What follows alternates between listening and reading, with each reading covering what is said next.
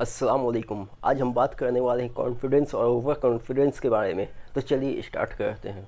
Confidence एक ऐसी power है जिससे आप जितनी कामयाबी हासिल करना चाहे कर सकते हैं। क्योंकि आप किसी भी चीज़ में कामयाबी हासिल करना चाहते हैं तो उसके लिए सबसे पहले आपके अंदर कॉन्फिडेंस होना ज़रूरी है। ये कॉन्फिडेंस आपको कहाँ से मिलेगी? ये कॉन्फिडेंस आपको सिर्फ़ रिस्पेक्ट से मिलेगी। क्योंकि लोगों का क्या है, कुछ लोग शायद आपको गिरी हुई नज़र से देखेंगे, मगर आपको खुद को इस तरह तैयार कर लेना है, खुद को ऐसा बना लेना है, खुद को ऐसे मकाम तक पहुँचा लेना है कि लोग आपकी कामयाबी की सभी को मिसाल दें।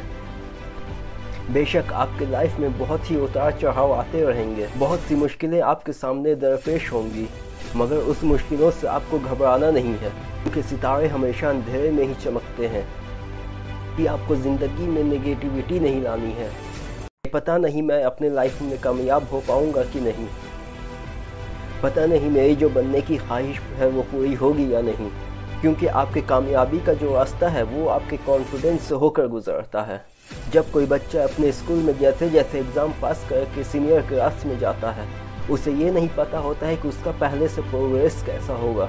मगर उसका कॉन्फिडेंस उसकी मेहनत उसे उस मकाम तक पहुँचा देती है, जिसे वो हासिल करना चाहता है।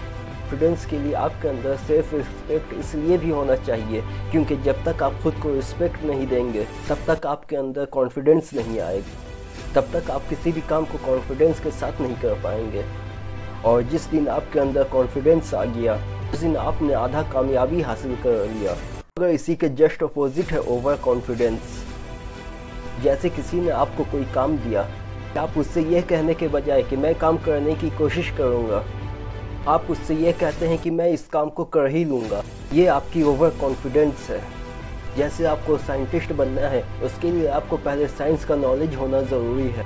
अगर आप ये सोचें कि हम बिना साइंस पढ़े साइंटिस्ट बन सकते हैं तो ये आपकी ओवर कॉन्फिडेंस है।